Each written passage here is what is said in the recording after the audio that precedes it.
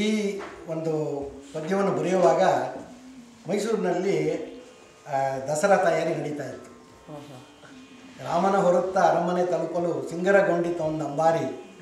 ರಾಜಮಾರ್ಗದಿ ಮನೆ ಮಂದಿರಗಳು ತೋರಣ ತರಳಿ ತಳಿರಿನ ಹರಿದಾರಿ ಆ ಪದ್ಯ ಬರೆಯೋ ಸಮಯದಲ್ಲಿ ಮೈಸೂರಿನಲ್ಲಿ ವಿಜಯದಶಮಿ ತಯಾರಿಗಳು ನಡೀತಾ ಇದ್ವು. ನನಗೆ ಆ ರಸ್ತೆ ಅಲ್ಲಿನ ಆನೆಗಳು ಓಡಾಡ್ತಾ ಇದ್ದಿದ್ದು ಅದನ್ನೆಲ್ಲ ಟಿ ವಿಲಿ ನೋಡ್ತಾ ಇದ್ದೀವಿ ಇಂಟರ್ನೆಟ್ನಲ್ಲಿ ನೋಡ್ತಾ ಇದ್ದಿದ್ದು ಅದು ಮನಸ್ಸಿನಲ್ಲಿತ್ತು. ಅದೇ ರೀತಿ ನಡೆದಿರ್ಬೋದು. ಆವಾಗಲೂ ರಾಮನ್ನ ಕರ್ಕೊಂಡು ಹೋಗಿ ಪಟ್ಟಾಭಿಷೇಕಕ್ಕೆ ತಯಾರಾಗೋದಕ್ಕೆ ಆನೆ ಅಂಬಾರಿ ಎಲ್ಲ ರೆಡಿಯಾಗಿತ್ತು. ಆದರೆ ಆ ಸಂದರ್ಭ ಹೇಗಾಯಿತು ಅಂತಂದರೆ, ರಾಜ್ಯಸಭೆಗೆ ಬರಬೇಕಾಗಿದ್ದು, ಬರ ಬರಬೇಕಾಗಿದ್ದಂಥ ದಶರಥನೇ ನಾಪತ್ತೆ.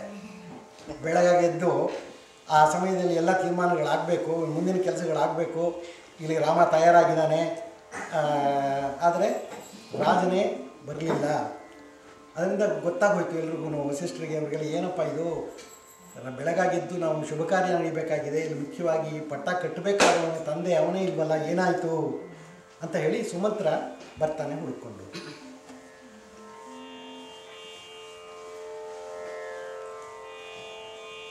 ನೋಡಿ ಸುಮಂತ್ರ, ದುಃಖದಿ ಮುಳುಗಿದ, ಧೂಳಲಿ ಹೊರಡುತ್ತ ಉರುಳಿದನ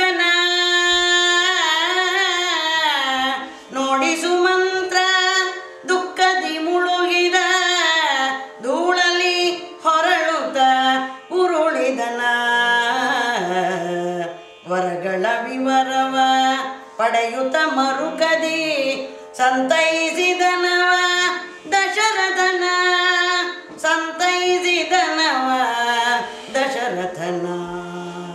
ತಾನಭಿಷೇಕಕ್ಕೆ ಸಿದ್ಧವಾಗುತ್ತಲಿ ನಿತ್ಯ ಕರ್ಮಗಳ ಮುಗಿಸಿದನು. ತಾನಭಿಷೇಕಕ್ಕೆ ಸಿದ್ಧವಾಗುತ್ತಲಿ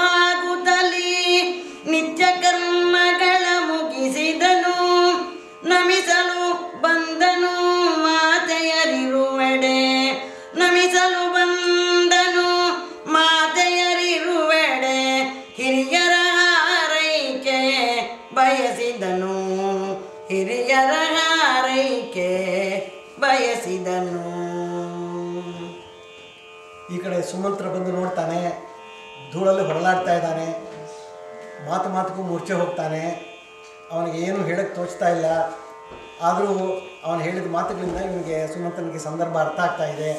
ಹೀಗೆ ಅವನನ್ನು ಕೈ ಕಟ್ಟಿದಾಳೆ ಕೈ ಅವನಿಗೆ ಮಾ, ವರವನ್ನು ಕೇಳಿ ಹಿಂದಿನ ವರಗಳನ್ನು ಉಪಯೋಗಿಸ್ಕೊಂಡು ಅವನನ್ನು ತೊಂದರೆಗೆ ಸಿಕ್ಕಾಕ್ಸಿದ್ದಾಳೆ ಅನ್ನೋದು ಅವನಿಗೆ ಗೊತ್ತಾಗುತ್ತೆ. ಆ ಕಡೆ ಇದೇನೂ ಗೊತ್ತಿಲ್ಲದೇನೆ ರಾಮ ಅವನು ಅಭ್ಯಂಜನವೆಲ್ಲ ಮಾಡಿ ತಯಾರಾಗ್ತಾ ಇದ್ದಾನೆ ಮಟ್ಟಕ್ಕೆ ನಾನು ಹೋಗ್ತಾ ಇದ್ದೀನಿ ಅನ್ನೋ ಒಂದು ಭ್ರಮೆಯಲ್ಲಿ ಅವನು ತಯಾರಾಗ್ತಾ ಇದ್ದಾನೆ. ಇದು ಒಂದು ರೀತಿಯ ವಿಪರ್ಯಾಸ.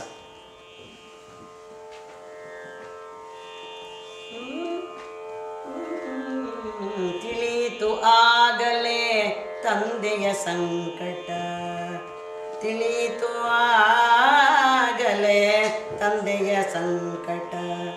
ಊಹೆಗೂ ನಿಲುಕದ ವಿಧಿ ತಿರುವು ತಂದೆಯ ಮಾತನು ಉಳಿಸುವುದಾದರೆ ವನವೇ ರಾಮನ ಹಣೆ ಬರವು. ವನವೇ ರಾಮನ ಹಣೆ ಬರವು. ಮಂತ್ರಿಯ ಹಿತ ನುಡಿ ವ್ಯರ್ಥವಾಯಿತು. ಕೈಕೆಯು ಬಿಡದಿರೆ ಮೊಂಡಾಟ. ಕೌಸಲ್ಯ ಸುಮಿತ್ರೆ ಸೌಮಿತ್ರಿಯರಿಗೂ ತಿಳಿಯಿತು ಕೈಕೆಯ ಕೆಟ್ಟಾಟ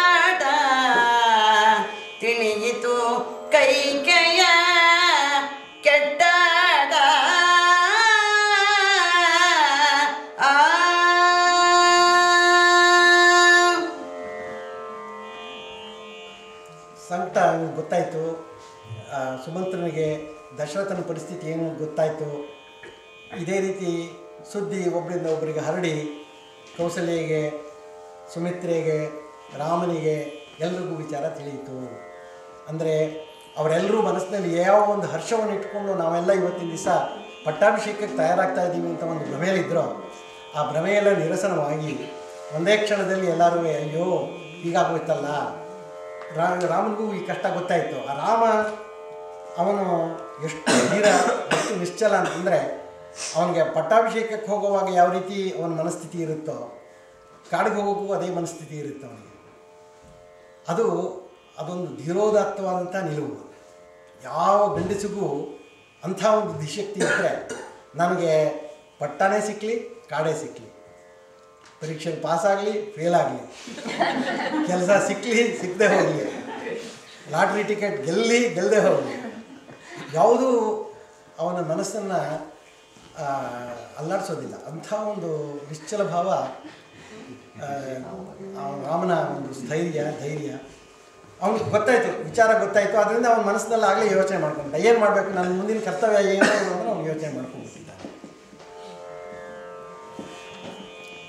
ಕಿರಿಯ ರಾಣಿಯೊಳು ಮುದಿಯ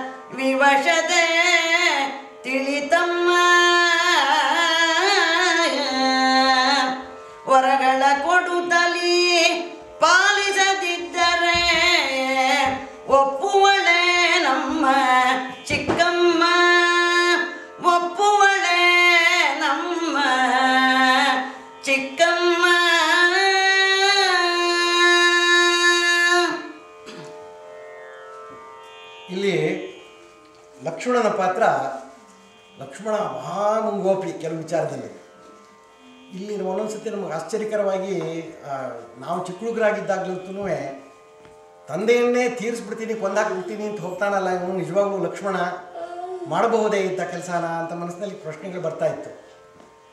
ಅದು ಇವತ್ತಿಗೂ ಅದು ಅದನ್ನು ಅಕ್ಸೆಪ್ಟ್ ಮಾಡ್ಕೊಳ್ಳೋದು ಕಷ್ಟ. ಏನೇ ಆಗಿರಲಿ. ತಂದೆ ಮಾಡಿದ ತೀರ್ಪು ರಾಮನಿಗೆ ಎಷ್ಟು ಮುಖ್ಯನೋ ಲಕ್ಷ್ಮಣನಿಗೂ ಅಷ್ಟೇ ಮುಖ್ಯ ಅಲ್ವೇ? ಲಕ್ಷ್ಮಣನಿಗೆ ಯಾಕೆ ಅಷ್ಟು ಕೋಪ ಬಂತು? ಅಂದರೆ ಅವನಿಗೆ ರಾಮನ ಮೇಲೆ ಇರ್ತಕ್ಕಂಥ ಭಕ್ತಿ, ಅವನು ಅವನು ರಾಮನ ಸೇವೆಗೋಸ್ಕರನೇ ಹುಟ್ಟಿರ್ತಕ್ಕಂಥವನು, ಅವನು ಆದಿಶೇಷ ಅವನು. ವಿಷ್ಣು ಮಲಗ್ತಾ ಇದ್ದಂಥ ಹಾಸಿಗೆ ಇವಾಗ ಅಲ್ಲಿ ಅವನು ಶಿಷ್ಯನಾಗಿ, ಅವನ ಸೇವಕನಾಗಿ ಈ- ಜನ್ಮದಲ್ಲಿ ಅವನು ಬಂದಿರೋದು. ಅದರಿಂದ ಅವನಿಗೆ ರಾಮನಿಗೆ ಯಾವಾಗೂ ಅನ್ಯಾಯ ತಡೆಯೋದಕ್ಕೆ ಸಾಧ್ಯವಿಲ್ಲ. ಆ ರೀತಿ ಕಾಂಟೆಕ್ಸ್ಟ್ನಲ್ಲಿ ನಾವು ಅದನ್ನ ಅರ್ಥ ಮಾಡ್ಕೊಳ್ಬೇಕು. ಅಂದರೆ ಅವನಿಗೆ ಕೋಪ ಬಂದಿದ್ದ ತಂದೆ ಕೊಂದಾಕ್ಬಿಡ್ತಾ ಇದ್ದ ಅಂತ ಅಲ್ಲ. ಕೋಪದಲ್ಲಿ ಕೆಲವು ಸತಿ ಕೆಲವು ಮಾತುಗಳು ಬರುತ್ತವಲ್ಲ, ಅವನಿಗೆ ಅಂಥ ಎಮೋಷನಲ್ ಒಂದು ಡಿಸ್ಟರ್ಬೆನ್ಸ್ ಆಯಿತು ಮನಸ್ಸಿಗೆ. ಹೇಗೆ ನಮ್ಮ ಅಪ್ಪ ಈ ಥರ ಕೆಲಸ ಮಾಡ್ದ? ಈ ಇವನಿಗೆ ಮುದುಕನಿಗೆ ಬುದ್ಧಿ ಕೆಟ್ಟೋಗಿದೆ. ಇವನಿಗೆ ನಿಜವಾಗ್ಲೂ ರಾಜ್ಯ ಆಳೋ ಯೋಗ್ಯತೆಯೇ ಹೊರಟೋಗಿದೆ. ಅವನು ರಾಮನಿಗೂ ಅಂತ ಹೇಳ್ತಾನೆ ರಾಮ, ನನಗೆ ಅಪ್ಪಣೆ ಕೊಡು.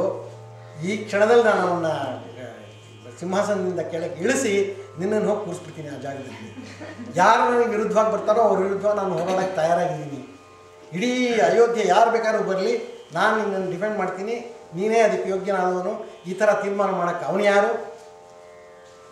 ಆ ಥರ ಕೇಳೋದಕ್ಕೆ ಚಿಕ್ಕಮ್ಮ ಯಾರು ಅಂತಂದ್ಬಿಟ್ಟು ಈ ಥರ ಅವನು ತನ್ನ ಕೋಪವನ್ನು ವ್ಯಕ್ತಪಡಿಸ್ತಾನೆ.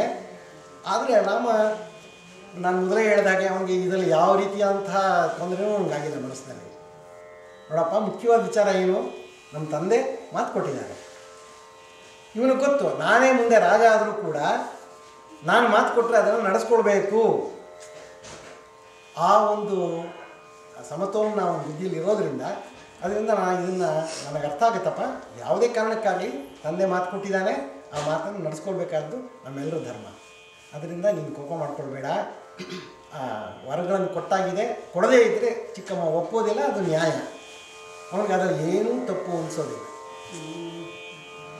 ರಾಮನು ಹೊರಡಲು ಹಿಂದೆ ಲಕ್ಷ್ಮಣ ಸೂರ್ಯನಿಗಂಟಿದ ಬೆಳಕಿನಲು ರವಿಯು ಬೆಳಕು ಮುಂದೆ ಸಾಗಿದರೆ, ರವಿಯು ಬೆಳಕು ಮುಂದೆ ಸಾಗಿದರೆ, ನಡೆವಳು ಸೀತೆಯು ನೆರಳಿನೊಳು ನಡೆವಳು ಸೀತೆಯು ನೆರಳಿನೊಳು ತಂದೆ ತಾಯಿಗಳ. ಚರಣಕ್ಕೆ ನಮಿಸುತ್ತ. ಹೊರಟರು ಮೂವರು ಕಾಡಿನೆಡೆ. ನಾರು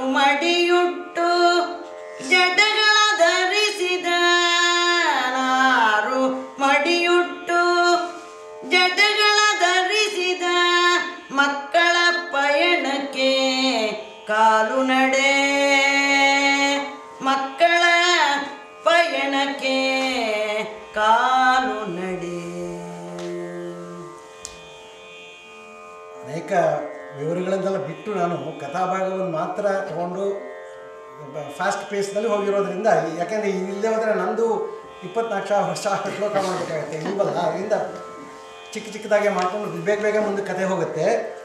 ಆದರೆ ಇನ್ನೇನು ರಾಮ ಹೊರಡೋಕೆ ತೀರ್ಮಾನ ಮಾಡಿದಾನೆ. ಅದು ಯಾವ ರೀತಿ ಇತ್ತಪ್ಪ ಅಂತಂದರೆ, ಈ ಪ್ರತಿಮಾ ನಾಟಕದಲ್ಲಿ ಬರುತ್ತೆ, ಭಾಸ ಹೇಳ್ತಾನೆ. ಸೂರ್ಯ ಇವ ಗತೋ ರಾಮ, ದಿವಸೈವ ಲಕ್ಷ್ಮಣವನು ಗತಃ. ಸೂರ್ಯ ದಿವಸಾವಸಾನೆ ಛಾಯೈವ ನ ದೃಶ್ಯತೆ ಸೀತಾ. ಅಂದರೆ ಸೂರ್ಯ ಹೋದ ರೀತಿಯಲ್ಲಿ ರಾಮ ಹೊರಟುಬಿಟ್ಟ. ಸೂರ್ಯ ಹೋದ್ಮೇಲೆ ಇನ್ನು ದಿವಸ ಎಲ್ಲಿ ಬಂತು? ಅವನ ಜೊತೆಲೇ ದಿವಸ ಹೊರಟೋಯ್ತು. ಸೂರ್ಯನೂ ದಿವಸನೂ ಇಲ್ಲದೆ ಇದ್ಮೇಲೆ ಇನ್ನು ಛಾಯೆ ಎಲ್ಲಿ? ನೆರಳಿಗೆ ಅವಕಾಶವೇ ಇಲ್ಲ. ಅದೇ ಮಾತುಗಳನ್ನೇ ನಾನು ಇಲ್ಲಿ ತೊಗೊಂಡ್ಬಿಟ್ಟು ಹೇಳ್ಬೋದು ಆ ಆ ಥರ ಪರಿಸ್ಥಿತಿಯಲ್ಲಿ ಹೊರಟಾಗ ಆ ತಂದೆ ತಾಯಿಗಳಿಗೆ ನಮಿಸಿ ಅವನು ಹೊರಡ್ತಾ ಇದ್ದಾನೆ. ಆದರೆ ದಶರಥನಿಗೆ ಜ್ಞಾನವಿಲ್ಲ. ಏನಾಗ್ತಾ ಇದೆ ಗೊತ್ತಿಲ್ಲ. ಅಳುತ್ತಾ ಇದ್ದಾನೆ, ಬೇಡ್ಕೋತಾ ಇದ್ದಾನೆ. ಹೋಗಬೇಡಪ್ಪ ರಾಮ. ನೀನು ಖಂಡಿತವಾಗಿ ನಾನು ಅವನು, ಅವನ ಮಾತು ನೇರವಾಗಿ ಅವನು ಹೇಳೋದೇ ಇಲ್ಲ. ರಾಮಾಯಣದಲ್ಲಿ ದಶರಥ ಯಾವತ್ತೂ ರಾಮನಿಗೆ ಹೇಳಲ್ಲ. ನೀನು ಕಾಡಿಗೆ ಹೋಗ್ಬಿಟ್ಟು ಹೇಳಲ್ಲ. ನಿನಗೆ ಪಟ್ಟ ಹಾಕು, ಕಟ್ಟೋಲ್ಲ ಅಂತ ಹೇಳಲ್ಲ. ಭರ್ತನ ಪಟ್ಟ ಕಟ್ತೀನಿ ಅಂತಲೂ ಹೇಳಲ್ಲ. ಆ ಸಂದರ್ಭದಲ್ಲಿ ಈ ನಿಷ್ಠುರಳಾಗಿರ್ತಕ್ಕಂತಹ ಕೈಕೇಯಿ ಜೊತೆ ಇರ್ತಾಳೆ ಅವ್ನು ನೋಡಕ್ಕೆ ಬಂದಾಗ ಅವಳೇ ಹೇಳೋದು ಅದನ್ನು. ನಾಚಿಕೆ ಆಗ್ತಾ ಇದೆಯಪ್ಪ, ನಿಮ್ಮ ಅಪ್ಪನಿಗೆ ಮಾತಾಡೋಕ್ಕೆ ಮಾತು ಕೊಟ್ಬಿಟ್ಟಿದ್ದಾರೆ. ಈಗ ನಡ್ಸೋಕ್ಕಾಗಲ್ವಲ್ಲ ಅಂತ ಯೋಚನೆ ಮಾಡ್ತಾ ಇದ್ದಾರೆ. ನಾ ಹೇಳ್ತೀನಿ ಕೇಳೋ ವಿಚಾರ ಅಂತ ಅವಳು ಹೇಳ್ತಾಳೆ. ಅವಳಿಗೆ ಕಣ್ಣೀರಿಲ್ಲ. ಅಥವಾ ಮನಸ್ಸಿಗೆ ಸ್ವಲ್ಪನೂ ದುಃಖನೂ ಆಗ್ತಾ ಇಲ್ಲ ಹೇಳೋ ಮಾತಿಗೆ. ಎಷ್ಟು ಕಠಿಣ ಆಗ್ಬಿಟ್ಲು ಅಂತಂದರೆ ಆ ಸಂದರ್ಭದಲ್ಲಿ ಅವಳು ಹೇಳ್ತಾಳೆ, ಹೀಗೆ ನಾನು ಕೇಳಿದೆ ವರನ, ಕೊಡ್ತೀನಿ ತೊಕ್ಕೊಂಡಿದ್ರು ಈ ಮೊದಲನೇ ವಾರದಲ್ಲಿ ಪಟ್ಟ ಮಗನಿಗೆ ಕೇಳಿದ್ದೀನಿ ಎರಡನೇ ವಾರದಲ್ಲಿ ನೀನು ಹೋಗು ಅಂತ ಹೇಳಿದ್ದೀನಿ. ಅಷ್ಟೇಪ್ಪ ಅದನ್ನ ಹೇಳಕ್ಕೆ ಅವ್ರು ನಾಚಿಕೆ ಆಗ್ತಾ ಇದೆ ನೀನು ಪರಿಪಾಲಿಸ್ತು ಅದು ಗೊತ್ತಾದ ಮೇಲೆ ನೀನೇನು ಮಾಡ್ತಾನೆ? ಹೊರಡ್ತಾನೆ ಆಯಿತು ಅಂದ ಅವನು ಯಾವುದನ್ನು ಪ್ರಶ್ನೆ ಮಾಡೋನಲ್ಲ. ಹೊರಟು ನಿಂತಿದ್ದಾನೆ ಕಾಲ್ನಡಿಯಲ್ಲಿ ಹೊರಡ್ತಾ ಇದ್ದಾರೆ ಜಡ್ಗಳನ್ನು ಕಟ್ಕೊಂಡು ಆ, ಸಂದರ್ಭದಲ್ಲಿ.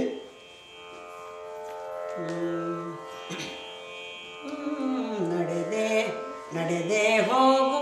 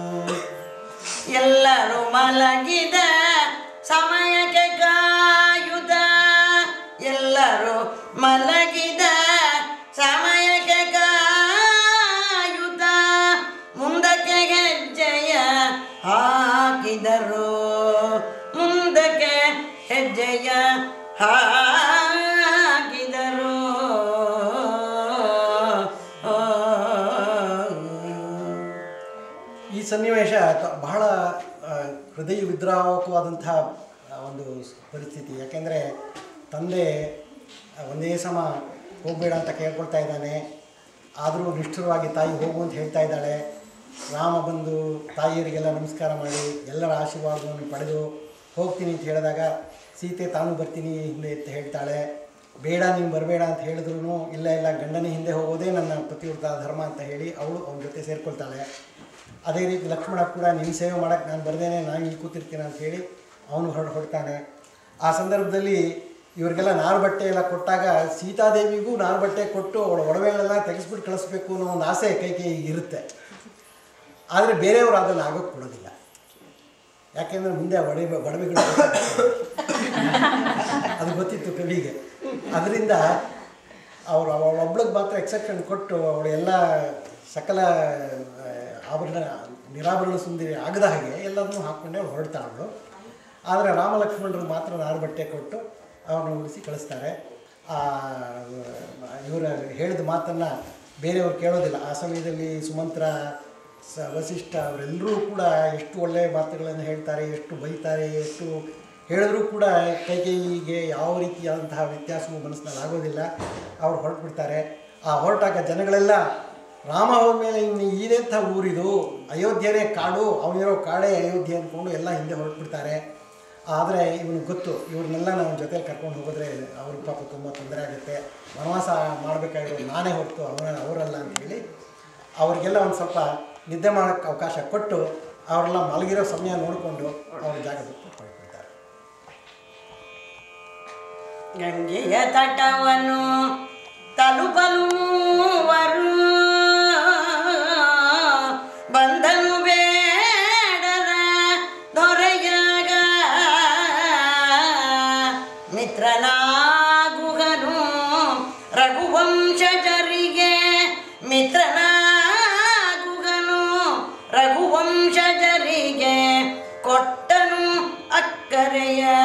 ಕರೆಯಾಗ ಆ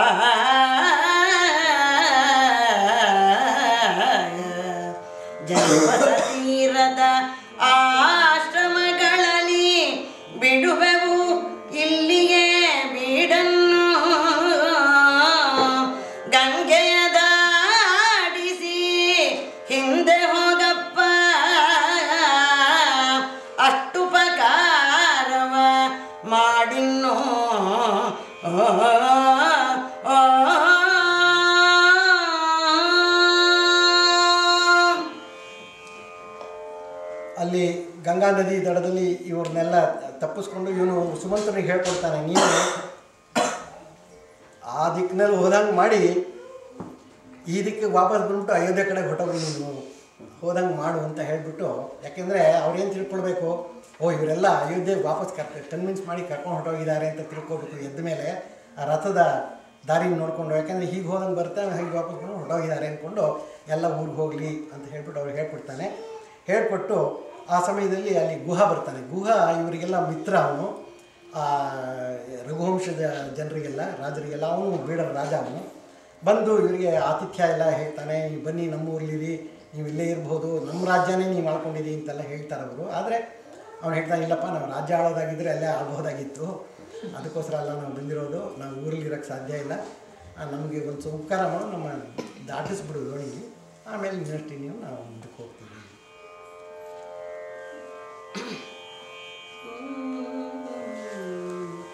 ಅಳುದಲಿ ಕಳುಹುತ ಸುಮಂತ್ರನಲ್ಲಿ ಅಳುದಲಿ ಕಳುಹುತ ಸುಮಂತ್ರನಲ್ಲಿ ವಿನಂತಿಸಿಕೊಂಡರು ವಿನಯದಲ್ಲಿ. ಪ್ರೀತಿಯ ತಂದೆಯ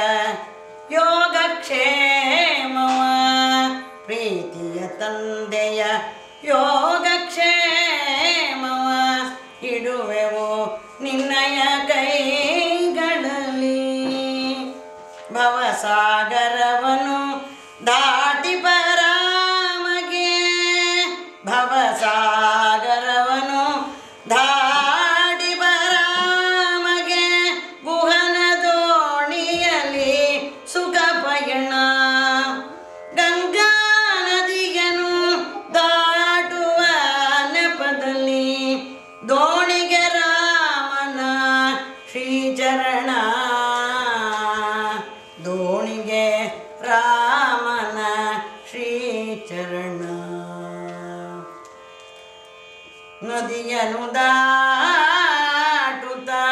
ಕಳುಗುತ್ತ ಗುಹನನು ಸಂಧ್ಯಾದಿಗಳನ್ನು ಆಚರಿಸಿ.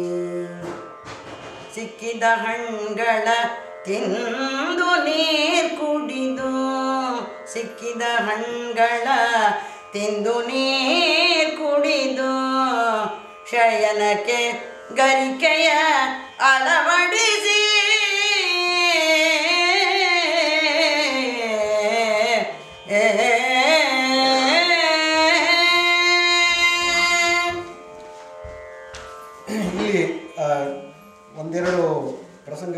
ಸುಂದರವಾದಂಥ ಪ್ರಸಂಗಗಳು.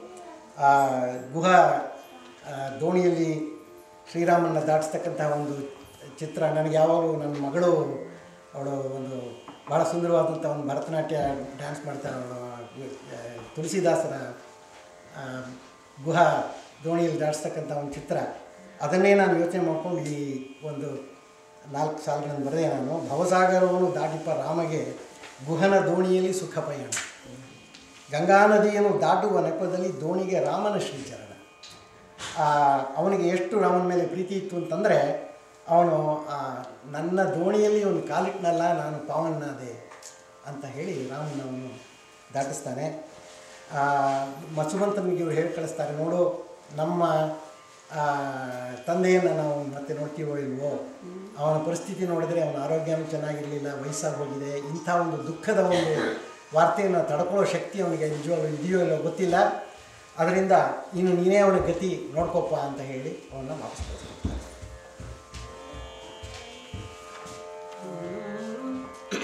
ದಟ್ಟ ಕಾಡಿನೊಳು ಗಿರಿ ತೊರೆದಾಟುತ ಮೂವರೆ ಪಯಣವ ಬೆಳೆಸಿದರು.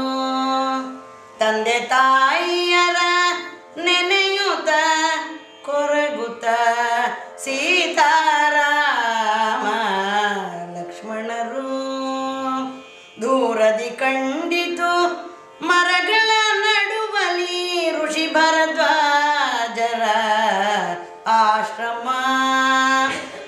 ಪಡೆದು ಉಪಚಾರ ರಾತ್ರಿ ಕಳೆಯಲು ನೀಗಿತು ಸ್ವಲ್ಪ ಅವರ ಶ್ರಮ.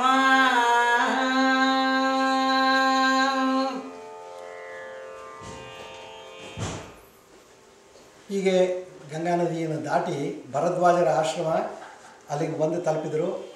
ಅಲ್ಲಿ ಆವಾಗ ಅವರಿಗೆ ಮೊಟ್ಟ ಮೊದಲನೇ ಬಾರಿಗೆ ನಾವು ಮೂರು ಜನನೇ ಇರೋದು ಒಬ್ರಿಗೊಬ್ಬರಿಗೆ ಅನ್ನುವ ಒಂದು ಮನಸ್ಸಿನ ಒಂದು ತಲ್ಲಣ ಶುರುವಾಗುತ್ತೆ. ಆವಾಗ ಅವನು ಹೇಳ್ತಾನೆ, ರಾಮ, ಲಕ್ಷ್ಮಣನಿಗೆ, ನೋಡಪ್ಪ, ನೀನು ಮುಂದೆ ಮುಂದೆ ಸಾಗು. ಹಿಂದೆ ನಿನ್ನ ಅತ್ತಿಗೆಯನ್ನು ಬಿಟ್ಟುಕೊಂಡು ನಾನು ಹಿಂದೆ ಬರ್ತೀನಿ. ನಾವಿಬ್ಬರೂ ಸೇರಿ ಅವಳನ್ನು ಮಧ್ಯದಲ್ಲಿ ರಕ್ಷಿಸಬೇಕಾದಂತಹ ನಮ್ಮ ಕರ್ತವ್ಯ.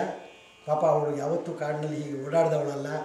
ಈ ಬರಿಗಾಲದಲ್ಲಿ ಹೋಗುವಾಗ ಅವಳು ಹೇಗೆ ನಡೀತಾಳೋ, ಎಷ್ಟು ಕಷ್ಟಪಡ್ತಾಳೋ ಅಂತ ಎಲ್ಲ ದುಃಖ ಪಡ್ತಾನೆ. ಅವಾಗ ಲಕ್ಷ್ಮಣ ಯೋಚಿಸಬೇಡ, ನಾನು ದಾರಿನ ಎಲ್ಲ ಸವರಿ ಸರಿ ಮಾಡಿಕೊಂಡು ಅವಳು ನಡೆಯೋದಕ್ಕೆ ಯೋಗ್ಯವಾಗಿ ಮಾಡ್ಕೊಂಡು ಮುಂದಕ್ಕೆ ಹೋಗ್ತೀನಿ ನಾನು. ನೀನು ಹಿಂದಿಂದ ಬಾ ನೀನು. ಮುಂದೆ ಯಾವ ಥರದ ಥರ ತೊಂದರೆನೂ ಬರ್ದಾಗ ನಾನು ನೋಡ್ಕೊಳ್ತೀನಿ ಅಂತ ಹೇಳಿ ಮಾತು ಕೊಡ್ತಾನೆ. ಹಾಗೆ ಮಾಡಿಕೊಂಡು ಅವ್ರು ಮುಂದೆ ಮುಂದೆ ಹೋಗ್ತಾರೆ. ಭರದ್ವಾಜರ ಆಶ್ರಮದಲ್ಲಿ ಒಂದು ರಾತ್ರಿ ಕಳೆದು ಅಲ್ಲಿ ಸ್ವಲ್ಪ ಶ್ರಮವನ್ನು ನೀಗಿಸ್ಕೊಂಡು ಅಲ್ಲಿಂದ ಮುಂದಕ್ಕೆ ಹೊರಡ್ತಾರೆ ತಮ್ಮ ಕುಟಿಯಲೇ ಕಳೆಯ ವನವಾಸ ಕೊಟ್ಟರು ಋಷಿಗಳು ಆಹ್ವಾನ. ಜನಗಳ ವಸತಿಗೆ ದೂರವ ಬಯಸುತ್ತ ಜನಗಳ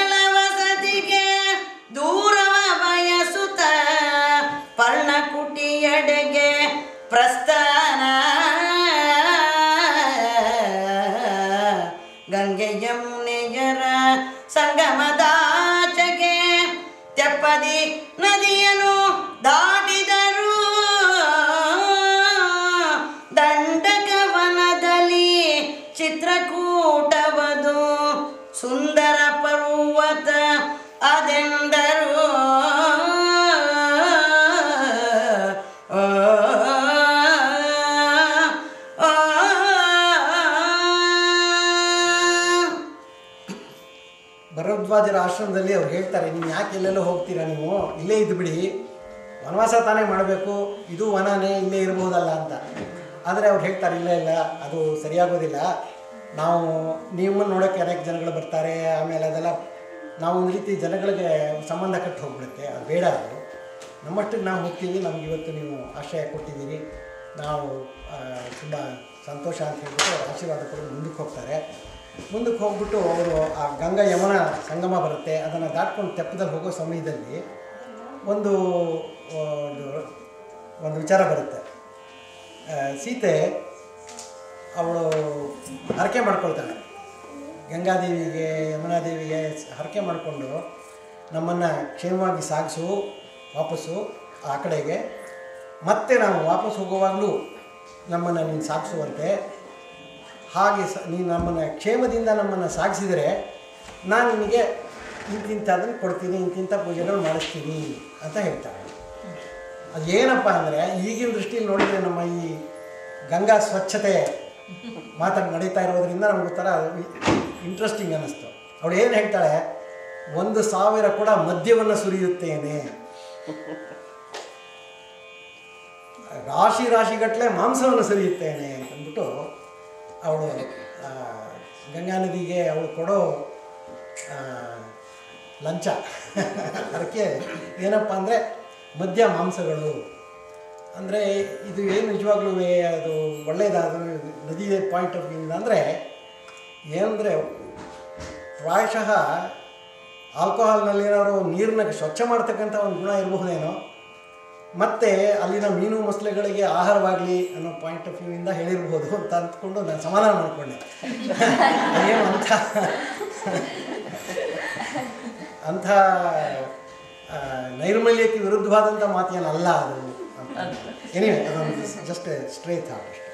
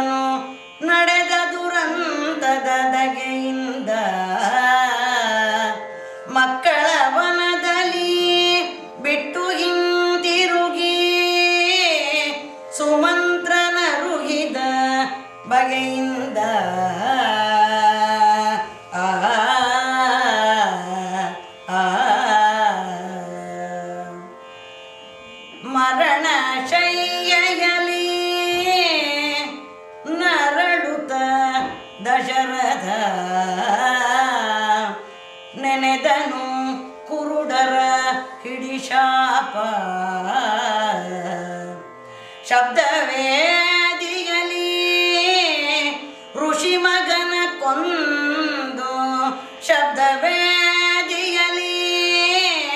ಋಷಿ ಮಗನ ಕೊಂದು ತಿಳಿಯದೆ ಮಾಡಿದ ಇಡಿ ಪಾಪ ತಿಳಿಯದೆ ಮಾಡಿದ ಇಡಿ ಪಾಪ.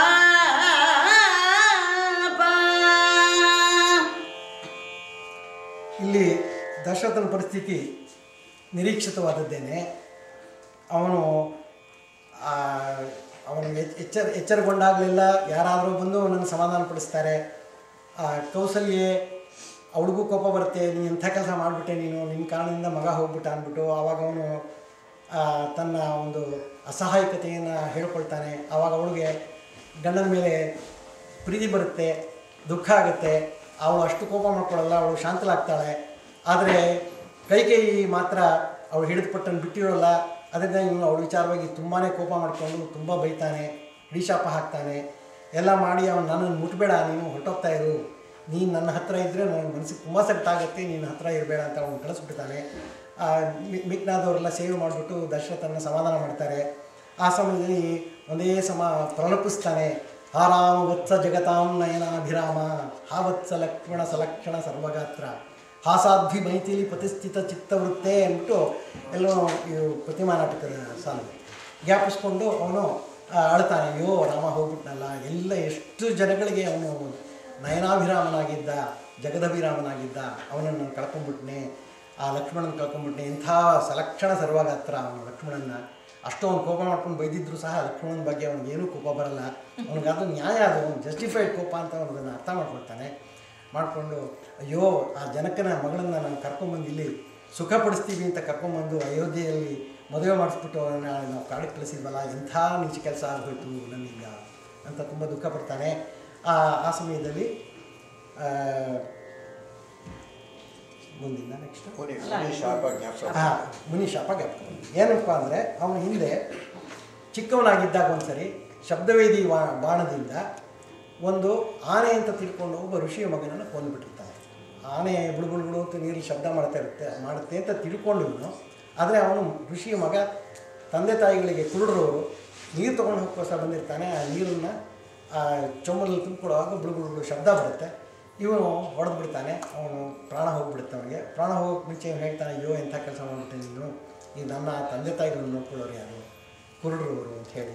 ಇವನು ಹೋಗ್ತಾನೆ ಮಗನ ಮಗನನ್ನ ಅವನು ನೋಡಿಕೊಂಡು ತುಂಬ ಸಂಕಟ ಪಡ್ತಾನೆ ಆ ಸಂಕಟದಲ್ಲಿ ಇವನಿಗೊಂದು ಶಾಪ ಕೊಡ್ತಾನೆ ನಾವು ಸಾಯೋ ಕಾಲದಲ್ಲಿ ನನ್ನ ಮಗ ನಮ್ಮ ಜೊತೆಲಿ ಇರೋದಿಲ್ಲ. ಹಾಗೆ ನೀನು ಸಾಯೋ ಕಾಲದಲ್ಲಿ ನಿನ್ನ ಮಕ್ಕಳು ಯಾರು ನಿನ್ನ ಜೊತೆಯಲ್ಲಿ ಇಲ್ಲದೆ ಹೋಗಲಿ ಅಂತ ಒಂದು ಶಾಪವನ್ನು ಕೊಟ್ಟಿರ್ತಾನೆ. ಇವನಿಗೆ ಅವಾಗ ಜ್ಞಾಪಕ ಬರುತ್ತೆ. ಹೌದು. ಭರತ ಶತ್ರುಘ್ನರಿಬ್ಬರು ಮಾವನ ಮನೆಗೆ ಹೊರಟೋಗಿದ್ದಾರೆ. ಈ ರಾಮ ಲಕ್ಷ್ಮಣರಿಬ್ಬರು ಕಾಡು ಹೊರಟೋಗಿದ್ದಾರೆ. ಇದೇ ಸಂದರ್ಭ ನಮ್ಮ ಕೊನೆ ದಿನ ಬಂತು ಅಂತ ಅವನ ಮನಸ್ಸಿಗೆ ಗೊತ್ತಾಗುತ್ತೆ. ಮಕ್ಕಳು ಜೊತೆಯಲ್ಲಿ ಇಲ್ಲದ ಸಮಯಕ್ಕೆ ಮಕ್ಕಳು ಜೊತೆಯಲ್ಲಿ ಇಲ್ಲದ ಸಮಯಕ್ಕೆ ಕಾದಿತ್ತು ರಾಜನ ಕೊನೆಯುಸಿರು ಹೆಣ್ಣಿನ ಮೋಹದ ಜಾಲಕ್ಕೆ ಸಿಲುಕಿದ, ಹೆಣ್ಣಿನ ಮೋಹದ ಜಾಲಕ್ಕೆ ಸಿಲುಕಿದ ರಾಜಗೆ ಹಲವರು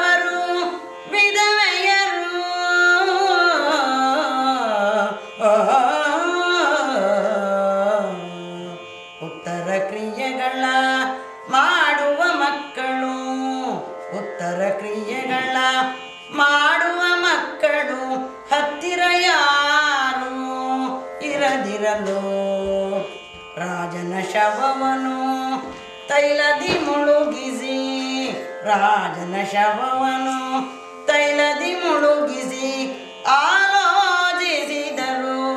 ಮಂತ್ರಿಗಳು. ಆಲೋಚಿಸಿದರು ಮಂತ್ರಿಗಳು. ಭರತ ಶತ್ರುಘ್ನರ ಕರೆದರಲೆಂದು ಒಡನೆಯೇ ದರ ಅಟ್ಟಿದರು ಭರತ ಶತ್ರುಘ್ನರ ಕರೆದಲೆಂದು ಒಡನೆಯೇ ದೂತರ ಅಟ್ಟಿದರು ಕೆಟ್ಟ ಕನಸುಗಳ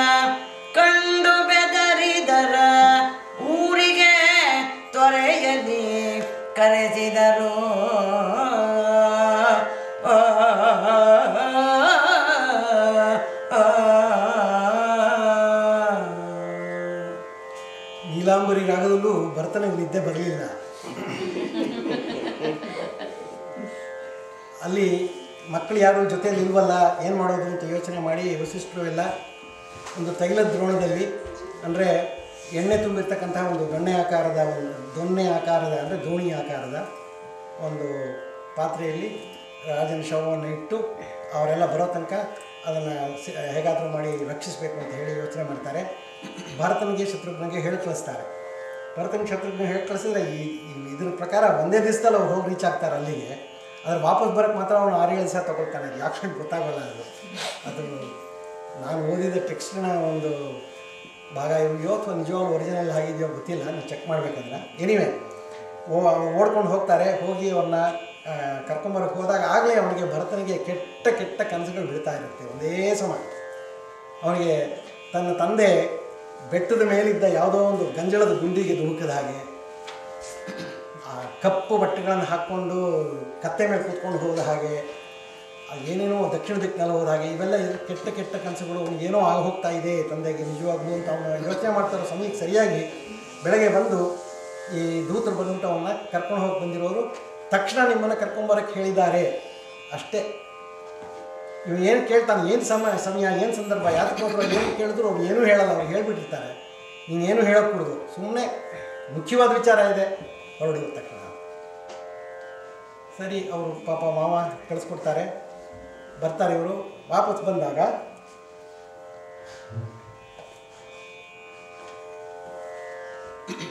ನಡೆದ ವಿವರಗಳ ಕೇಳಿ ತಿಳಿದವನು. ನಡೆದ ವಿವರಗಳ ಕೇಳಿದಿಳಿದವನು ಭರತನು ಕುದಿದನು ಕೋಪದಲ್ಲಿ ಹಾಕುವೆ ಕಡಿದು ಕುಮಾತೆಯನೆನ್ನುತ್ತ ಕಡಿದು ಹಾಕುವೆ ಕುಮಾತೆಯನೆನ್ನುತ್ತ ಬುಸುಗುಟ್ಟಿದನವ ರೋಷದಲ್ಲಿ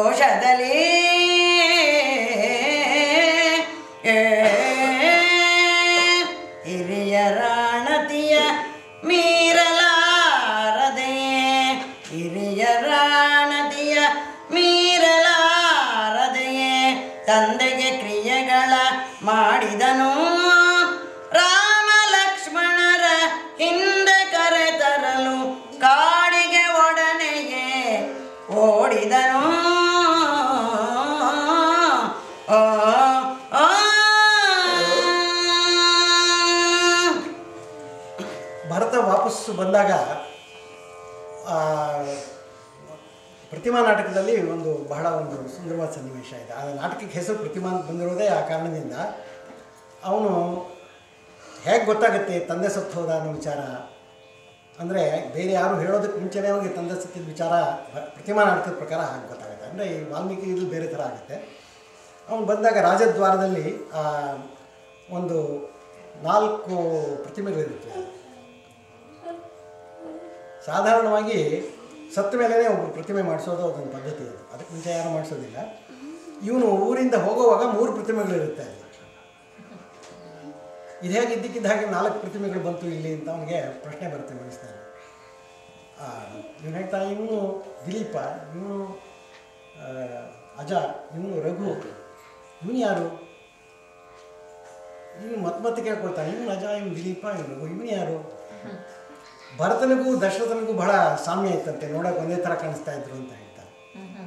ಸೊ ಅವನಿಗೆ ಗೊತ್ತಾಗೋಯ್ತು ತಕ್ಷಣ ಇದು ದಶರಥಂದೇ ಪ್ರತಿಮೆ ಅಂತ. ಅಂದರೆ ಅಷ್ಟು ಬೇಗ ಪ್ರತಿಮೆ ಯಾರು ಮಾಡಿಟ್ರೋ ಅದು ಇದೊಂದು ಊಹೆ ಇದು ಇಲ್ಲಿ ಆವಾಗ ಅವನಿಗೆ ತಕ್ಷಣ ಜ್ಞಾನ ಹೋಗಿ ಬೀಳ್ತಾನೆ ಅವನು ಅವಾಗ ಗೊತ್ತಾಗುತ್ತೆ ಅವನಿಗೆ ಅಂತ ಅಂದರೆ ನಾಲ್ಕೇ ಜನ ಅಲ್ಲ ನಿಮಗೆ ಸುಮ್ಮನೆ ಒಂದು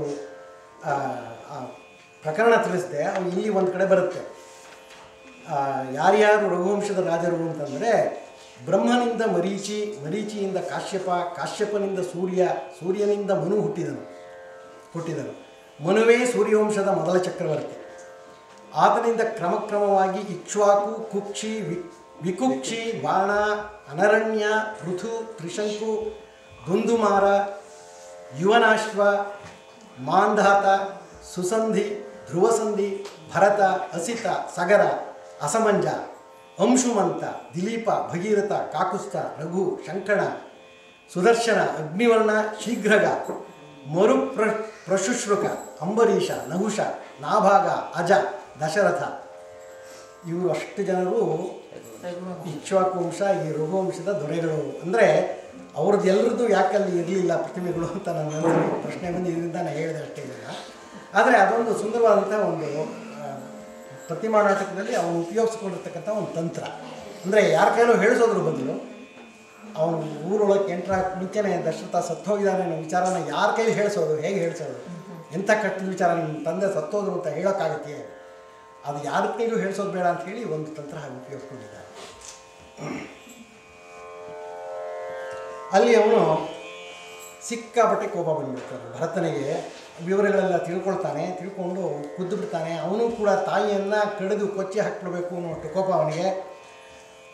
ಆದರೆ ಎಲ್ಲರೂ ಹೇಳ್ತಾರೆ, ಅಪ್ಪ, ನೀ ಅವಳು ಮಾಡಿದ ಪಾಪಕ್ಕೆ ನೀನು ಪಾಪ ಮಾಡಿ ನೀನು ಯಾವ ಹೋಗ್ತೀಯ? ನಮಗೆಲ್ಲ ಗೊತ್ತು, ನೀನು ಯೋಗ್ಯ, ನೀನು ಅಂಥ ಕೆಲಸ ಮಾಡೋದಿಲ್ಲ ಅಂತ ನಮ್ಗೆ ಗೊತ್ತಿದೆ. ಈಗೆಲ್ಲದಕ್ಕಿಂತ ಮುಖ್ಯವಾದ ಕೆಲಸ ಏನು ಅಂದರೆ ತಂದೆಯ ಅಂತ್ಯಕ್ರಿಯೆಗಳನ್ನು ಮಾಡಬೇಕು. ಅದನ್ನು ಮಾಡು ಅಂತ ಹೇಳಿದ ತಕ್ಷಣ ಅವನು ಅವರ ಮಾ ಅವನು ಅವನು ಹೇಳ್ತಾ, ತಂದೆ ಹೇಳಿರೋ ಮಾತು ಅವ್ನಿಗೆ ಗೊತ್ತಾಗುತ್ತೆ. ನಾನೇನಾದ್ರು ಒಪ್ಕೊಂಡ್ರೆ ನನಗೆ ಅಂತ್ಯಕ್ರಿಯೆ ಮಾಡೋಕ್ಕೆ ಅಪ್ಪಣೆ ಇಲ್ಲ ಅಂತ ಗೊತ್ತು ಅವನಿಗೆ. ಅದರಿಂದ ಅವನಿಗೆ ನಿರಾಳವಾಗಿ ತಂದೆಯ ಮನಸ್ಸಿಗೆ ನೋವಾಗೋದಿಲ್ಲ ಇದ್ರಿ- ಇದರಿಂದ ನೋವಾಗಲ್ಲ ಅಂತ ಹೇಳಿ ಮಾಡಿ ತಕ್ಷಣವೇ ರಾಮನ ಕರ್ಕೊಂಡು ಬರ್ತೀನಿ ಅಂತ ಹೊರಡ್ತಾನೆ. ರಾಮನಿರುವಡೆಯ ಗುಹನಿಂದರಿತನು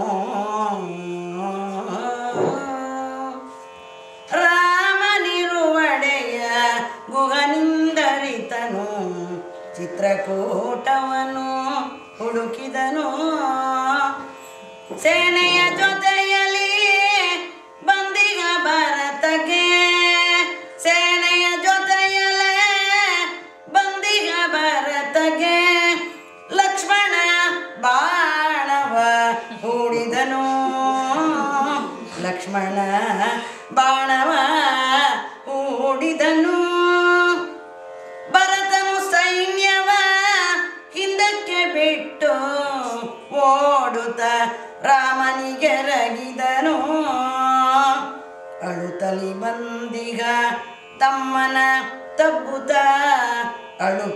ಬಂದಿಗ ತಮ್ಮನ ತಬ್ಬುತ ಊರಿನ ಕುಶಲವ ಕೇಳಿದನು ಊರಿನ ಕುಶಲವ ಕೇಳಿದನು.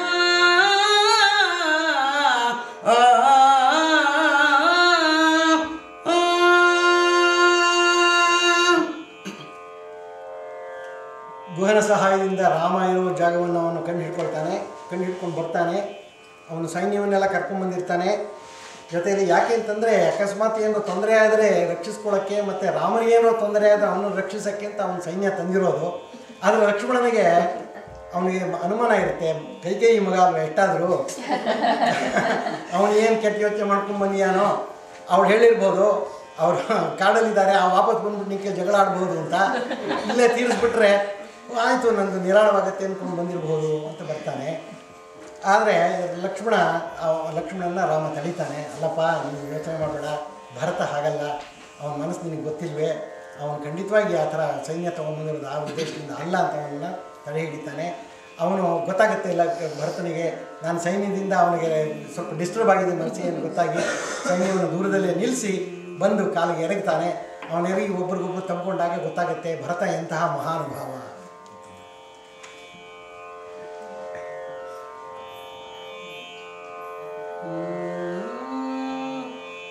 ಸುರಿಸಿ ಕಣ್ಣೀರ, ಭರತನು ತಿಳಿಸಿದ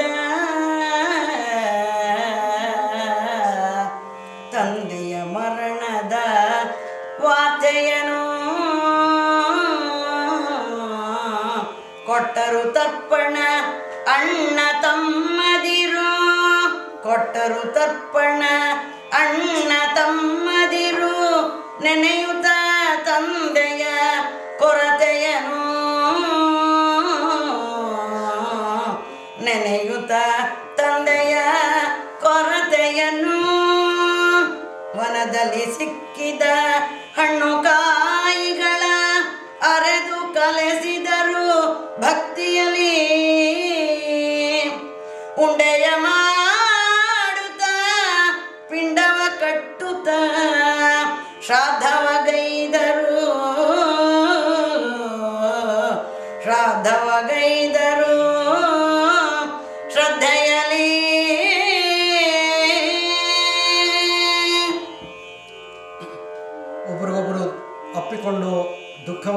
ದುಃಖವನ್ನು ಮೇಲೆ ಮೊಟ್ಟ ಮೊದಲನೇ ಕರ್ತವ್ಯ ಅವನು ತಂದೆ ಹೋಗ್ಬಿಟ್ರಪ್ಪ ಅಂತ ಹೇಳಿ ಅವನಿಗೆ ವಿಚಾರವನ್ನು ತಿಳಿಸಿದಾಗ ರಾಮಲಕ್ಷ್ಮಣರು ತುಂಬ ದುಃಖ ಆಗುತ್ತೆ. ಆ ಕೊನೆಗಾಲದಲ್ಲಿ ನಾವು ಜೊತೆಯಲ್ಲಿ ಇರಲಿಲ್ವಲ್ಲ, ಉತ್ತರ ಕ್ರಿಯೆಯಲ್ಲಿ ನಾವು ಭಾಗವಹಿಸಕ್ಕೆ ಆಗಲಿಲ್ವಲ್ಲ ಅಂತ ಹೇಳಿ ಅವನು ತಕ್ಷಣ ಭರತ ಅವನಿಗೆ ಎಲ್ಲ ಸಿದ್ಧತೆಗಳನ್ನು ಮಾಡಿಕೊಡ್ತಾನೆ.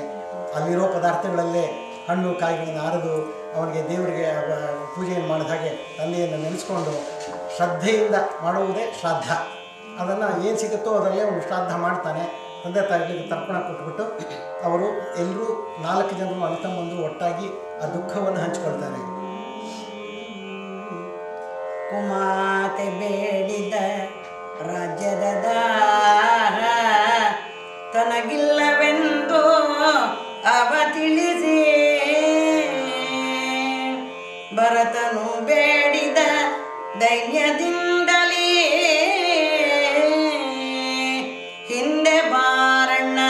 ನೀ ಕ್ಷಮಿಸಿ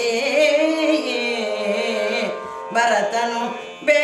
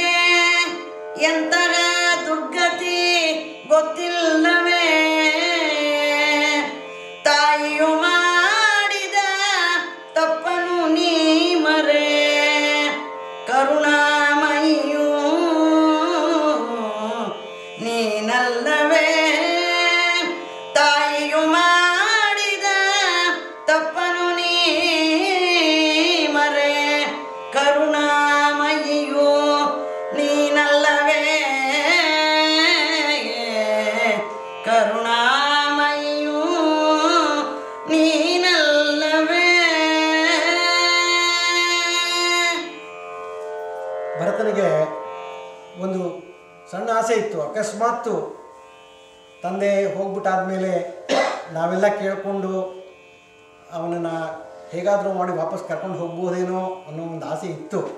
ಆದರೂ ಅವನಿಗೂ ಗೊತ್ತಿತ್ತು. ತಂದೆ ಮಾತನ್ನು ಅವನು ಖಂಡಿತವಾಗಿ ಮೀರೋದಿಲ್ಲ ಅಂದ್ಬಿಟ್ಟು.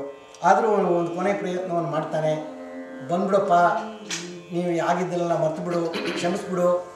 ನೀನು ಮತ್ತೆ ವಾಪಸ್ ಬಂದು ಪಟ್ಟ ಕಟ್ಕೋ, ಅದು ರಾಜ್ಯ ನಿಂದೇನೆ ಅಂತ ಹೇಳ್ತಾನೆ. ಆದರೆ ರಾಮ ಹೇಳ್ತಾನೆ, ಇಲ್ಲಪ್ಪ, ಸಾಧ್ಯವಿಲ್ಲ. ನಮ್ಮ ನಮ್ಮ ತಂದೆ ಕಡೆಯ ಒಂದು ಆಸೆ ಅದು. ಆಸೆ ಅಂದರೆ ಅವನು ಮನಸಾರೆ ಮಾಡಿದ ಆಸೆ ಅಲ್ಲ, ಅವನು ಸಿಕ್ಕ ಸಿಕ್ಕಾಕೊಂಡಂಥ ಒಂದು ವಚನ ಕೊಟ್ಟಿದ್ದಾನೆ. ಅದನ್ನು ನಾವು ಪಾಲಿಸಬೇಕು.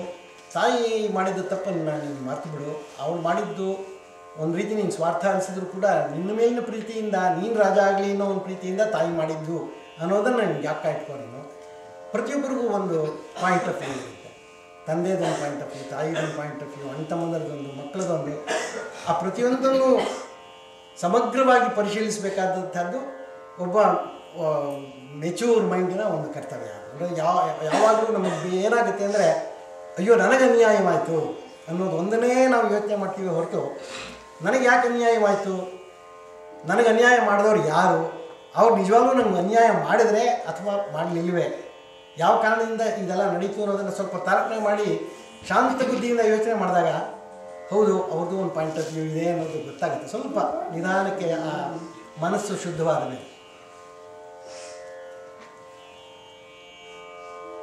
ರಾಜ್ಯವಾಳೆನು ಕಿರೀಟ ಧರಿಸನು ರಾಜ್ಯವಾಳೆನು ಕಿರೀಟ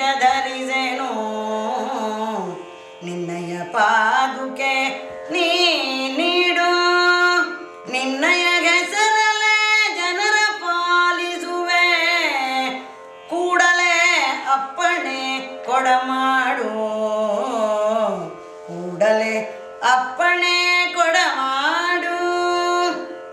ಭರತನು ಹೊರಟನು. ಅಯೋಧ್ಯೆ ಎಡೆಗೆ ಗುರುಗಿರಿ ಬಾಂಧವರೊಡಗೂಡಿ.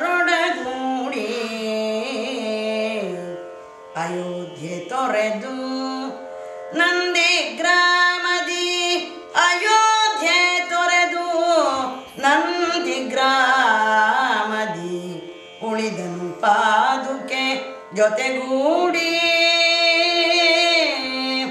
ಉಳಿದನು ಪಾದುಕೆ 여대구리.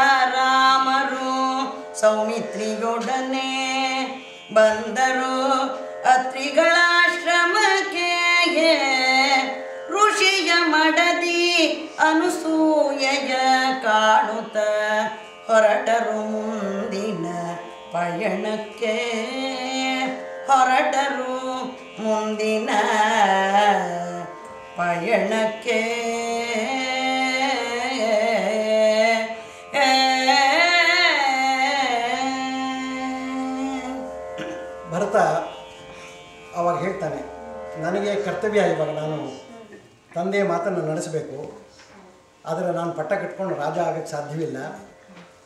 ಆದರೆ ರಾಜ್ಯವನ್ನು ನೋಡ್ಕೊಳ್ಬೇಕಲ್ಲ ಯಾರಾದರೂ. ಇಲ್ಲಿ ಹೋದರೆ ಯಾರೋ ಅಕ್ಕಪಕ್ಕದವ್ರು ಬಂದು ಕೊಳ್ಳೆ ಹಾಕ್ತಾರೆ, ತೊಂದರೆ ಆಗುತ್ತೆ. ನಾವು ರಘುವಂಶದ ರಾಜರು ಇರ್ರೆಸ್ಪಾನ್ಸಿಬಲ್ ಆಗೋಕ್ಕೆ ಸಾಧ್ಯ ಇಲ್ಲ. ಅದರಿಂದ ನಾನು ನನ್ನ ಕೆಲಸ ನಾನು ಮಾಡ್ತೀನಿ. ಆದರೆ ನಿನ್ನ ಪ್ರತಿನಿಧಿಯಾಗಿ ನಾನು ಆ ಕೆಲಸ ಮಾಡ್ತೀನಿ. ನಿನ್ನ ಒಂದು ಪಾಲಿಕೆಯನ್ನು ನಾನು ಕೊಡು ಅಂತ ಹೇಳಿ ಆ ರಾ, ರಾಮನ ಪಾದಕೆಯನ್ನು ತಗೊಂಡು ಹೋಗಿ ನಂದಿಗ್ರಾಮದಲ್ಲಿಟ್ಟು ಅದಕ್ಕೆ ಪಟ್ಟಾಭಿಷೇಕ ಮಾಡಿ ಅವನು ಅದಕ್ಕೆ ರಿಪೋರ್ಟ್ ಮಾಡ್ತಾ ಇದ್ದಂತೆ ಪ್ರತಿನಿತ್ಯದ ಆಗು ಹೋಗುಗಳನ್ನು ಹೋಗಿ ಪಾದಕೆಗೆ, ಹೀಗಾಯ್ತಪ್ಪ ನಾನು ಹೀಗೆ ಮಾಡಿದೆ, ತೀರ್ಮಾನ ಸರಿಯೇ ಅಂತ ಕೇಳಿ. ಅಂದರೆ ಅದರಲ್ಲಿ ಆ ಲಾಯಲ್ಟಿ ಅನ್ನೋದಿದೆಯಲ್ಲ, ಒಂದು ಸಣ್ಣ ನೀವು ಒಂದು ಒಂದು ವಾರ, ಎರಡು ವಾರ ನೀವು ವೆಕೇಷನ್ ತೊಗೊಂಡು ಬಿಟ್ಟು ಜಾವ ಹೋಗಿದ್ರೆ ವಾಪಸ್ ಬರೋಷ್ಟೊತ್ತಿಗೆ ನಿಮ್ಮ ಪ್ರಾಜೆಕ್ಟ್ನೇ ತೊಗೊಂಡ್ಬಿಟ್ಟಿರ್ತಾರೆ. ನನ್ನ ವಿಚಾರ ಅದು. ನೀವು ವಾಪಸ್ ನೋಡಿದ್ರೆ ಇಲ್ಲಪ್ಪ ನನ್ನ ಜಾಗ ಬಂದರೆ ಹುಡ್ಕೋ ಹೋಗು ಅಂತ.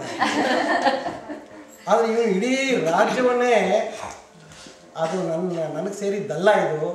ರಾಮ ಅದನ್ನು ನನಗೆ ನೋಡ್ಕೊಳಕ್ಕೆ ಹೇಳಿದ್ದಾನೆ ಅವನು ಎಲ್ಲಿವರೆಗೆ ಅವನು ಬರ್, ವಾಪಸ್ ಬರಲ್ವೋ, ಅಲ್ಲಿವರೆಗೆ ಜವಾಬ್ದಾರಿಯಿಂದ ನಾನು ಈ ಕೆಲಸ ನೋಡ್ಕೊಳ್ತೀನಿ ಅಂತ ಹೇಳಿ ಆ ಕೆಲಸವನ್ನು ನಿಮ್ಮ ನಿರ್ವಹಿಸ್ತಾನೆ. ಆ ರಾ ರಾ ಭರತನ್ನು ಕಳಿಸಿಕೊಟ್ಟಾದಮೇಲೆ ಇವರೆಲ್ಲರೂ ಜೊತೆಯಲ್ಲಿ ಬಂದಿದ್ದವರೆಲ್ಲರೂ ಪರಿವಾರದವರೆಲ್ಲ ವಾಪಸ್ ಹೋಗ್ತಾರೆ. ಹೋಗಿ ಆದಮೇಲೆ ಇವರು ಅನಸೂಯೆಯನ್ನು ಭೇಟಿ ಮಾಡಿ ಅಲ್ಲಿಂದ ಮುಂದಿನ ಪಯಣವನ್ನು ಬೆಳೆಸ್ತಾರೆ. ಇವಾಗ ಇವಾಗ ಎಷ್ಟು ಸಮಯ ನಮಗಿದೆಯಪ್ಪ? ಆಯ್ತು. ಮುಗಿಸೋ ಸಮಯ ತಾನೆ? ಅಲ್ಲ ಮಂಗಳ ಇದೆ ಅದಕ್ಕೆ ಮಧ್ಯದಲ್ಲಿ. ಸರಿ ಅದು ಈಗ ರಾಮಾಯಣ ಇಡೀ ರಾಮಾಯಣ ಅಂದರೆ ಕುವೆಂಪು ರಾಮಾಯಣ ದರ್ಶನ ರಾಮಾಯಣ ದರ್ಶನ ಬರೆದಾಗ ತೊಳಕಿನ ವೆಂಕಣ್ಣಯ್ಯನವರ ಮನೆಗೆ ಹೋಗ್ಬಿಟ್ಟು ಅದನ್ನು ಪ್ರತಿ ಸಹ ಓದಿ ಒಪ್ಪಿಸ್ತಾ ಇದ್ದಾಗ ಒಂದು ಸತಿ ಹೇಳಿದ್ರಂತ ಅವರು, ಇದು ರಾಮಾಯಣವಲ್ಲ, ವಿರಾಮಾಯಣ ಕಣ ಅಂತ. ಇದು ಬಹಳ ವಿರಾಮ ಕೂತ್ಕೊಂಡು ಕೇಳಬೇಕಾದಂಥ ಕತೆ. ಇನ್ನೊಂದ್ಸತಿ ಬಾ ಡೀಟೇಲಾಗಿ ಕೇಳ್ತೀನಿ ಅಂತ ಕಳಿಸ್ಬಿಟ್ಟು ಆಮೇಲೆ ಅವ್ರು ಹೋಗ್ಬಿಡ್ತಾರೆ. ಅವರು ತಲಕಿನ ವೆಂಕಣ್ಣಯ್ಯನವ್ರು ಹೋಗ್ಬಿಡ್ತಾರೆ. ಅವರ ಪಾಪ ಕುವೆಂಪು ಅವರ ರಾಮಾಯಣ ದರ್ಶನದಲ್ಲಿ ಅದನ್ನು ಬರ್ಕೊಂಡಿದ್ದಾರೆ. ಹೀಗಾಯಿತು ಗುರುಗಳು ನಾನು ಐದಿದ್ದೀರಿ ಮನೆಗೆ ಐದಿದ್ದೀರಿ ದಿಟದ ಮನೆಗೆ ಐದಿದ್ದೀರಿ ಅಂತ ಬಿಟ್ಟು ಕಳಿಸ್ಕೊಟ್ಬಿಟ್ರು ಹೋಗ್ಬಿಟ್ರು.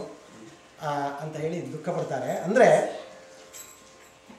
ನಾನು ಹಲವು ರಾಮ ಹಲವು ರಾಮಾಯಣಗಳನ್ನು ಓದಿ ಬರೆಯೋದಕ್ಕೆ ಮುಂಚೆ. ಕುವೆಂಪು ರಾಮಾಯಣ ಅದ್ಭುತವಾದಂಥ ಶೈಲಿ ಅದ್ಭುತವಾದಂಥ ಭಾಷೆ. ಓದೋದೇ ಕಷ್ಟ. ಪದವಿ ಮಾಡ್ಕೊಳ್ಳೋದು ಆಮೇಲೆ ಅದನ್ನು ಅರ್ಥ ಮಾಡ್ಕೊಳ್ಳೋದಕ್ಕೂ ಕಷ್ಟ.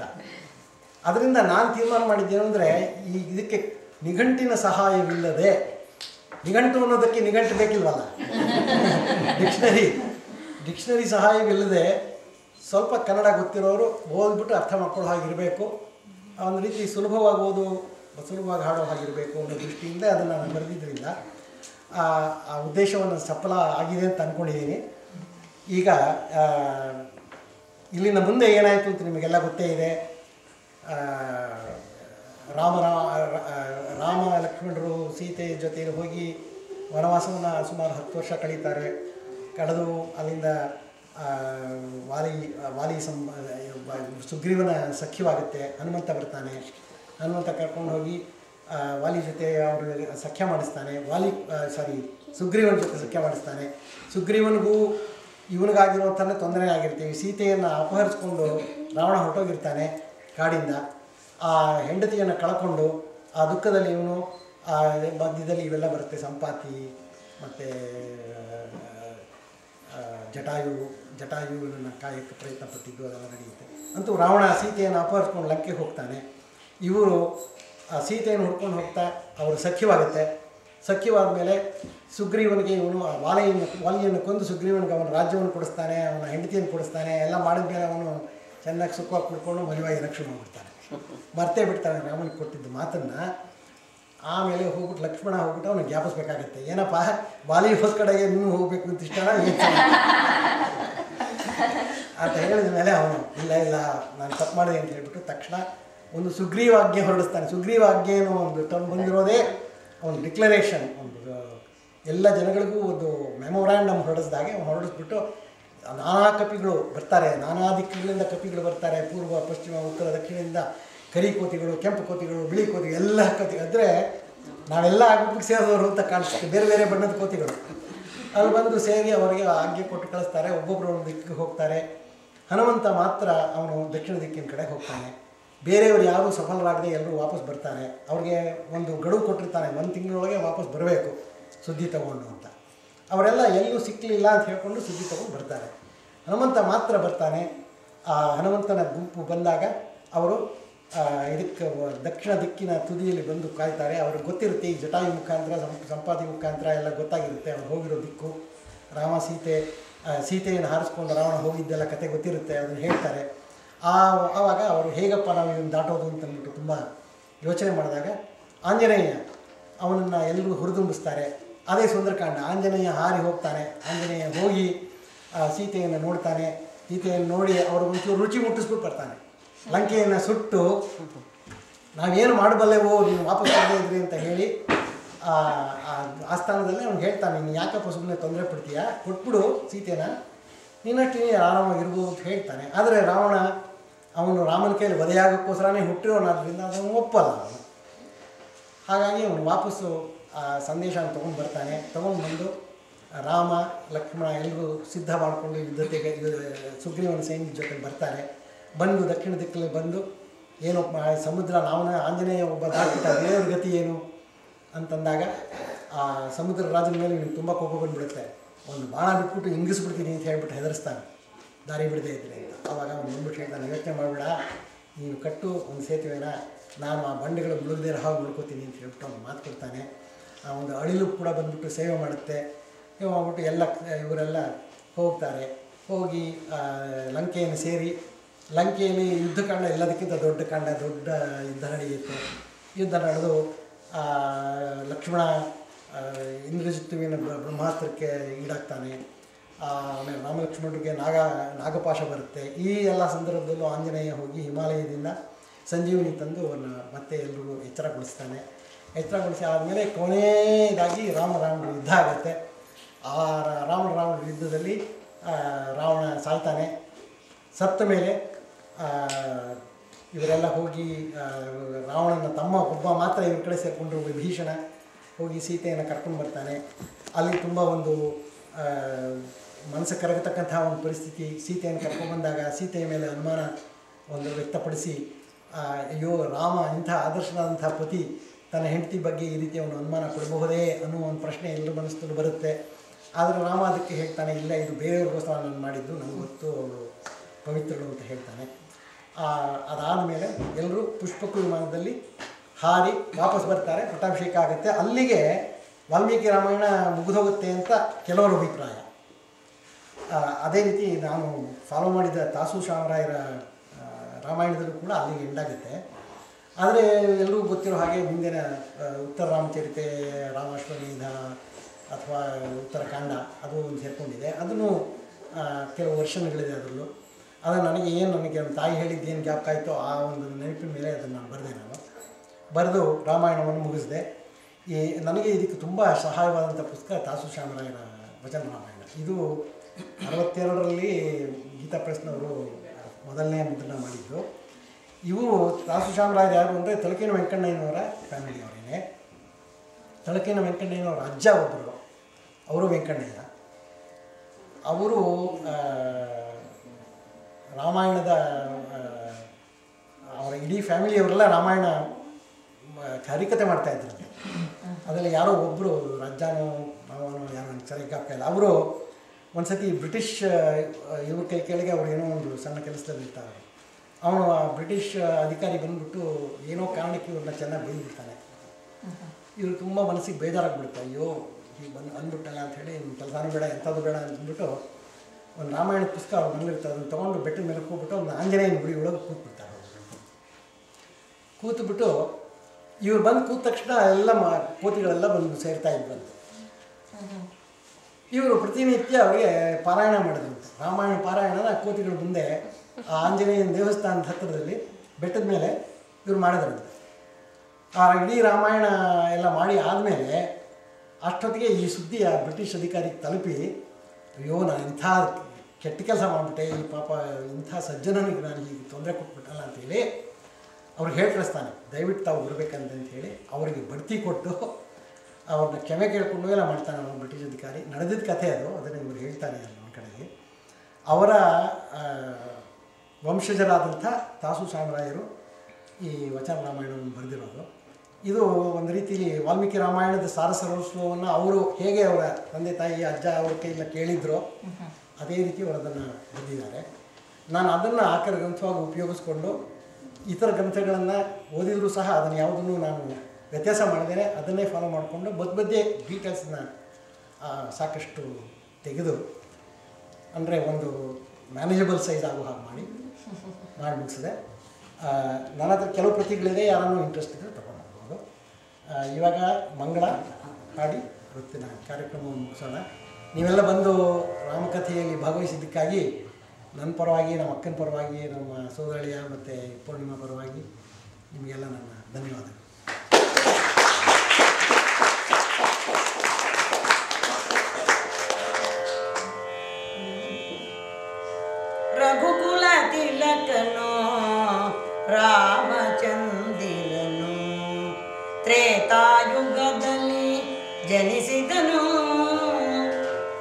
दाद्यम्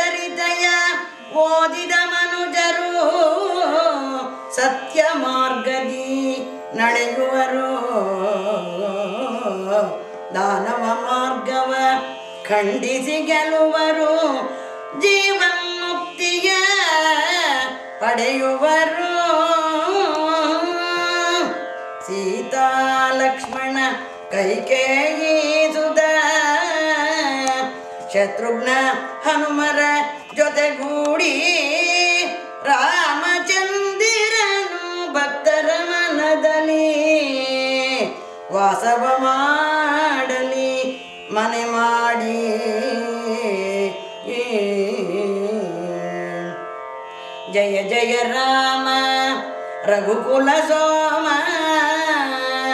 जय जय सीता श्रीराम।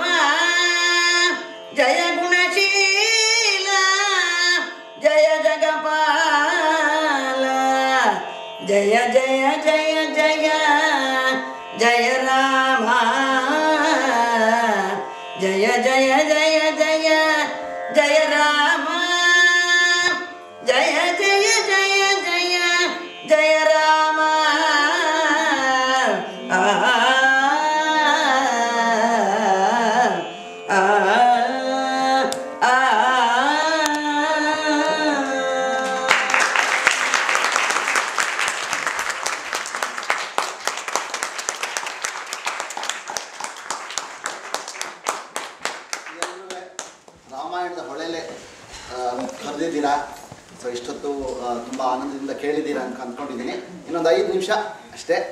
ಒಂದೆರಡು ಮಾತನ್ನು ಹಂಚ್ಕೋಬೇಕು ಅಂತ ಅನಿಸ್ತು, ದಯವಿಟ್ಟು ಕೇಳ್ಕೊಳ್ಳಿ ಇವತ್ತು ಮಾವ ಹೇಳಿದ್ರು ಹೇಗೆ ಈ ರಾಮಾಯಣ ಮಾಡಿದ್ದು, ಬರೆದಿದ್ದು, ಒಂಥರ ಕಾಕತಾಳೀಯ ಬೇರೆ ಬೇರೆ ರೀತಿಯಿಂದ ಆಗೋಯ್ತು ತಾನಾಗೆ ಆಗೋಯ್ತು ಅನ್ನೋ ಥರ, ಇವತ್ತಿನ ಈ ನವೆಂಬರ್ ಒಂದನೇ ತಾರೀಕು, ಈ ರಾಜ್ಯೋತ್ಸವದ ದಿವಸ, ನಮ್ಮಲ್ಲಿ ರಾಮಾಯಣನೇ ವಾಚನ ಯಾಕಾಗಬೇಕು ಅನ್ನೋದಕ್ಕೂ ನನಗೂ ಹಾಗೆ ಅನಿಸ್ತಾ ಇದೆ. ಮೊದಲು ಏನಂತ ಹೇಳಬೇಕು ಅಂದರೆ, ಈ, ನಮ್ಗೆ ಗೊತ್ತಿರೋ ಹಾಗೆ, ರಾಮಾಯಣ ಆದಿಕಾವ್ಯ. ಅಷ್ಟೇ ಅಲ್ಲ, ರಾಮಾಯಣನ ಫಸ್ಟ್ ಬಂದಿದ್ದು ಹಾಡ್ಬಿಟ್ಟು. ಕಾವ್ಯ ವಾಚನ ಮಾಡಿದ್ದು ಮೊದಲನೇ ಕಾವ್ಯ ಅದು. ಉತ್ತರಾಖಂಡದಲ್ಲಿ ಬರುತ್ತೆ ಕುಶ್ ಲವಕುಶರ ಬಂದ್ಬಿಟ್ಟು ರಾಮನಿಗೆ ರಾಮನ ಕಥೆಯನ್ನ ರಾಮಾಯಣನ ಹಾಡಿ ಹಾಡ್ತಾರೆ. ಸೊ ಹಾಗಾಗಿ ಈ ಕಾವ್ಯ ವಾಚನ ಅನ್ನೋದು ನಮ್ಮ ದೇಶದ ತುಂಬಾ ಹಳೆ ಪರಂಪರೆ. ಅದು ಇವತ್ತು ಬದುಕು ಬಂದಿರೋದು ಬರೀ ಕನ್ನಡದಲ್ಲಿ ಮಾತ್ರ. ಇನ್ನು ಯಾವುದೇ ಭಾಷೆಯಲ್ಲಿ ಕಾವ್ಯ ವಾಚನ ಮಾಡುವಂಥ ಪರಂಪರೆ ಇಲ್ಲ. ಹರಿಕತೆ ಇದೆ ಇನ್ನೊಂದಿದೆ ಸಂಗೀತ ಇದೆ ಎಲ್ಲವೂ ಬೇರೆ ಬೇರೆ ತರ ಫೋಕ್ ಆರ್ಟ್ಸ್ ಅದೆಲ್ಲ